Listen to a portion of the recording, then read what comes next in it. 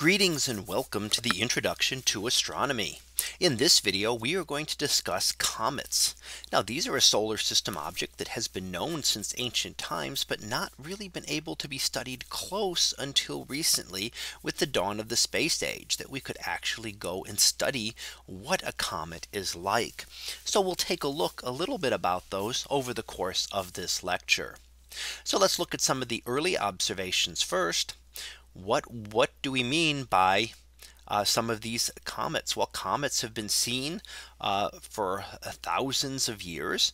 They can be very easily visible in the sky. And here is one shown in a little uh, uh, tapestry here where we can see it. And one of the problems was that it was seen as a sign of disaster. And why was that? Because it was a change in the heavens. Nowadays, we know that the heavens change all the time. But long ago, uh, even just, you know, even just hundreds, uh, five, 500 to a thousand years ago, any sign of change in the heavens was a sign of disaster coming. So this is one example seen here. But what does a comet actually look like? And we can see that in this image that it has parts that are visible in the sky, which we call the head and the tails. We can see the head of the comet right at the central here. And we have one tail going back this way, kind of curving off to one side and one going straight back here a little bit harder to see. So actually two tails to a comet and most comets do have two tails. Now a comet does not flash across the sky. So it does not behave like a meteor or a shooting star. They will slowly change position just like a planet. They are orbiting uh, through the solar system so that over the course of a night it might follow a specific path through the sky and pass through it but that will take time. It is not flashing through the sky like a shooting star. So if you see a comet one night, you can go back out the next night and it will be in roughly the same position. It won't change drastically from just one day to the next, just like any other solar system object. Jupiter or Venus will remain in essentially the same spot over uh, the course of a couple of days. So what do we look at when we look at cometary orbits? How do they orbit? Well, the difference with these and planets is the shape. The cometary orbits are very elliptical. And that means that they spend most of their time invisible in the outer solar system. So as a comet comes in close to here, it moves very quickly. Uh, Kepler's second law tells us that an that an object close to the sun moves faster and an object far away from the sun out here moves very slow. So the vast majority of time a comet is invisible. It's only seen when it passes close to the sun, which is when it's moving its fastest. So it can rush through here in just a couple of years and it can spend many decades out here in the depths of the solar system. We also know that comets come back over and over again. And Sir Edmond Halley uh, discussed this. And in fact, what he looked at was the orbits of comets that occurred in 1531, 1607 and 1682. And he noticed how similar their orbits were. So he made a prediction that said that maybe this comet would return in 1758. Unfortunately, he died before that and was never able to see that yes, his prediction came true. But the comet was named in his honor as Halley's comet that comes back about once every 76 years and has been visible for over a thousand years now. It just constantly comes back, comes in close to the sun and we see it for a couple of years and then it heads back out and spends most of its time out here in the depths of the solar system. So comets have very elliptical orbits and they do orbit like in a way like a planet in that they come back to in a continuous orbit over and over again. So let's look at the structures of a comet. What is a comet made up of? Well, the pieces of the comet include the nucleus. That's the actual piece of the comet. That's this little tiny dot down here. So that is the cometary nucleus which is where the actual material is. That is the solid piece of the comet. And that is sometimes what is called a dirty snowball because it is primarily made of ices, which would be the snowy part and dirty carbon compounds that make up the remainder of it. So giving it the dirty snowball uh, area name. And we have the coma of the comet, which is the larger area around this. Sometimes we see that as the head of the comet. That is where the material that has been vaporized from the nucleus resides. So some material is vaporized off this icy surface and then uh, continues around the comet remains in a in a coma around the comet. That can include things like hydrogen, uh, the hydroxyl molecule, carbon monoxide molecules, and various other objects that would be left there. And finally, we see the tails of a comet. We have two tails. Comets will have two. They will have a plasma or gas tail and a dust tail. So they are a little bit different here. We can see the plasma tail here going straight back and the dust tail kind of curving off to the side. Let's look at those in a little bit more detail here. So when we look at these tails, the comet tails will always point away from the sun. So you can always tell where the sun is in the sky relative to a comet by the direction that the tails are pointing. So here they're pointing away from the sun. As it's coming into the solar system, they lag behind the comet. Here they're pointing away from the sun. Here they're pointing away from the sun. So as the comet is leaving and heading back into the outer solar system, the tail goes first. So the tail leads the comet. Now there are two types of tails and we just mentioned those but let's look at them in a little bit more detail. There is the plasma or gas tail which consists of atoms or ions atoms with the electrons removed. Those are very light particles and are pushed straight back from the sun. So we see this one going straight back. That is what we call the plasma or gas tail. It is very light particles, so they're very easily pushed away from the sun. There is also the dust tail, which is larger particles. These lag behind the comet in its orbit. So they're heavier particles. So you'll see them kind of curving away from this and kind of showing the direction with which the comet is moving. They're going to lag behind. So their curvature, when you see that, tells you something about the direction the comet is moving. So just by looking at a comet's tails, we can tell the direction of the sun and the direction that the comet is moving at that time. So how have we explored comets and we have begun to explore them now. We have seen the problem is that the nucleus cannot be studied from the Earth. It's too small to be able to see any detail.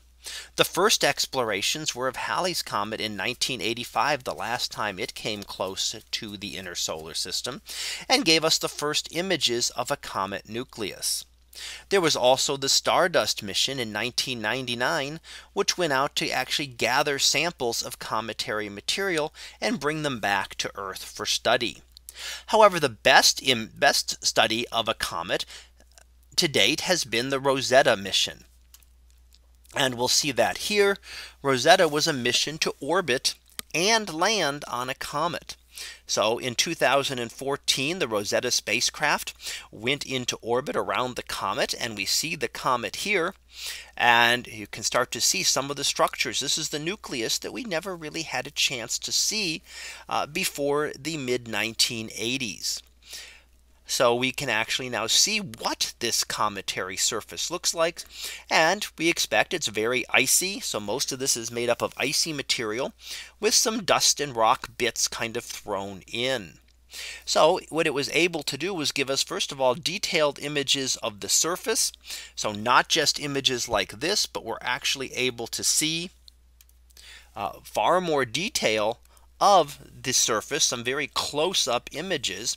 And we got to see it as it approached the sun. So we could watch for changes as material was being vaporized off the surface. So Rosetta was able to study that as this comet made its approach to the sun. It did have a lander, the Philae lander, which was designed to land on the surface and uh, kind of harpoon itself into the surface to hold itself in place.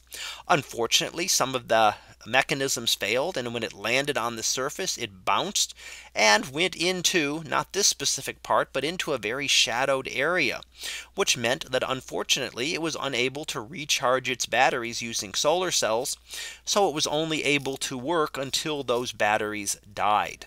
So it was able to give us a little bit of information from the surface of this comet but not as much as we would have hoped but that was really our very good up close study of a comet and has given us a lot of the knowledge that we have of comets overall today. So where did the comets come from? Well, we note that there are two types of comets and we call these short period and long period comets. We typically divide these by their orbital periods. So short period comets are orbits of less than 200 years. Long period comets are those with more than 200 years. But we also see other differences in their structures uh, in their orbits. And in fact, the short period comets orbit in the same plane and direction as the planets. So they act just like planets and asteroids and other objects. They're all orbiting around the sun in the same direction. So they all orbit around counterclockwise. The planets go counterclockwise. And even those comets that we see that come in with more elliptical orbits will also orbit counterclockwise around the sun. So they orbit in the same plane roughly, meaning that they're not tilted up or down out of the uh, image here and essentially in the same direction. So they're kind of a part of the solar system. The others are what we call the long period comets. They have random directions, meaning that they can go in any direction that you could have them coming around in a clockwise direction. And they could also come very much in a three dimensional sense that they could come from way up above the image here and go down below it. So they can have a random direction and a random orientation. They are spread out all over. So where do these come from? Well, typically we find two locations for them. They can come from the Kuiper belt and the Oort cloud. The short period comets come from the Kuiper belt out beyond Neptune. This is that distribution of icy bodies. Pluto exists out there as well as some of the other dwarf planets.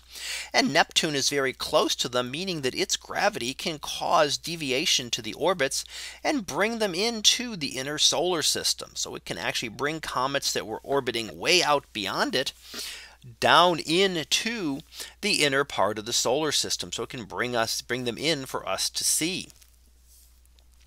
The others are long period comets. Now those exist out in what we call the Oort cloud. That's a very large spherical distribution of cometary nuclei. They may have been pushed out there and probably were when the solar system was forming as icy objects of came close to Jupiter or Saturn or one of the other giant planets. They could get kicked out of the solar system, but would ended up in this great Oort cloud, meaning that they were still orbiting around the sun, but on very large orbits. And what you could have is that a passing star could come close to the Oort cloud. It goes out to a hundred thousand astronomical units. And we could have stars that actually pass within that distance from time to time. So you could have a star that passes close and that could deviate their orbits, bringing them into the inner part of the solar system. So passing star here could bring that comet and send it into the inner solar system. Neptune in the Kuiper belt could do the same thing. So what happens to comets? Well, many of them will remain in orbit, but eventually just fade out. They'll keep coming back, but they do not have enough material to create a coma and a tail. So there could be essentially dead comets still orbiting around. They're not really visible because they do not come close to they do not come uh, they do not come come close enough to the sun, but there's not enough material left there to be vaporized. So we're not going to see a coma. We're not going to see the tails and the comet will be essentially invisible. Just this icy, icy rocky ball that orbits around the sun. Some can actually be broken apart if they come too close to the sun or one of the planets. So some can be broken apart, torn apart. And we see here one as it passed close to Jupiter that was actually ripped into a number of pieces by the tidal forces of Jupiter. So some of them can be destroyed by the sun. Some of them can be destroyed by a planet or can actually impact into a planet as we see here, uh, Comet Shoemaker Levy in 1994 actually crashed into Jupiter and we saw all the pieces of it there. And here we can see the scarred remnants of where it struck into Jupiter of where it crashed into Jupiter. So cometary impacts can occur on other other objects as well. This is just one relatively recent one that has been seen. So let's finish up with our summary of what we've gone over here. And we've talked about comets. They have very elliptical orbits. So they pass close to the sun, but most of their time is spent in the depths of the solar system. The nuclei have been studied up close by spacecraft and even samples of cometary material being returned to the Earth. And finally, comet orbits can be deviated by more massive objects such as the planets, sometimes causing collision, so causing them to collide into planets. So that concludes our lecture on comets. We'll be back again next time for another topic in astronomy. So until then, have a great day, everyone, and I will see you in class.